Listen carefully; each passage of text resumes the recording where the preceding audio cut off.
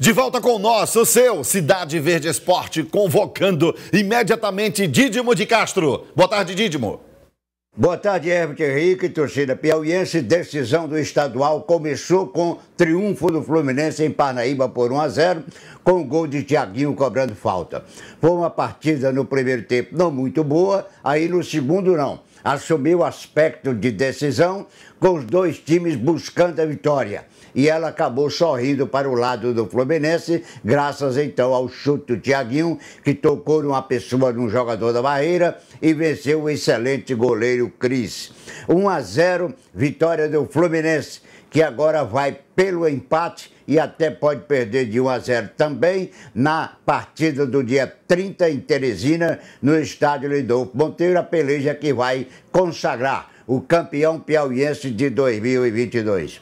O grande destaque de ontem em Parnaíba foi o público, uma plateia espetacular. Tomou todas as dependências do estádio Pedro Alelaf. Muita gente ficou até fora acompanhando o jogo das proximidades do estádio, em casa assistindo pela TV Cidade Verde. Então a torcida parnaibana está de parabéns. O maior público do Campeonato Estadual do ano é do Parnaíba, é da torcida parnaibana. E por isso nós estamos aqui a reconhecer a beleza do espetáculo proporcionada por milhares de torcedores do Tubarão do Litoral. E o Fluminense está aí perto do título, porém ainda não é certeza não vai ter que decidir a parada, onde o Parnaíba, inclusive, já deu volta olímpica, que é no estádio Lindolfo Monteiro.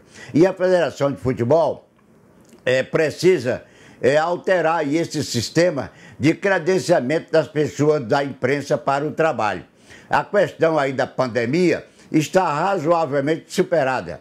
Já está voltando à normalidade o futebol em todo o país. Nós aqui continuamos com a limitação muito pesada não temos condições de levar a equipe para trabalhar. E agora em jogos importantes, Copa do Brasil, Série C e D do Campeonato Brasileiro, decisão do Campeonato Piauiense, então a federação flexibilizar um pouco isso daí para permitir que nós da imprensa esportiva possamos desenvolver corretamente o nosso trabalho nessas grandes jornadas que virão agora do Campeonato Piauiense.